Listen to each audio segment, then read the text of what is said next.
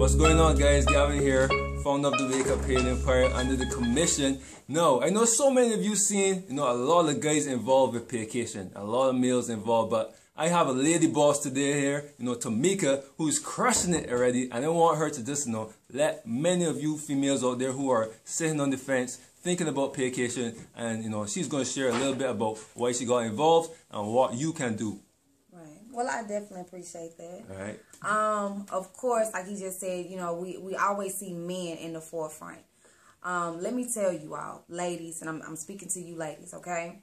You can definitely do this. I promise you. I'm a mother first, okay?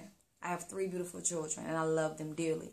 And that is the main reason why I stepped out on faith to do exactly what I'm doing right now. Um, it, don't get it twisted. It, it has been crazy times. It has been hard, but I promise you, nothing is impossible. Nothing.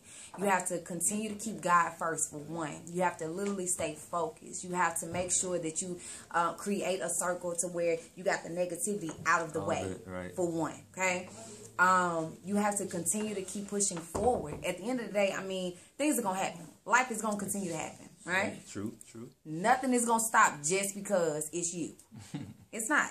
So with this opportunity, I have been able to spend more time with my children, be at home more. Um, I, I've had the opportunity to just really enjoy time for myself. Time, time freedom, right? You know? Priceless. Yo, you cannot. I'm telling you, Yeah. as a woman, we have to stand up and stand out. Period. I, I mean, that's it. You know, trade your sexiness in for success. Rising Lady Diamonds. Let's get it. I like that. Y'all can do it. Let's get it, guys. Hit me up today, please.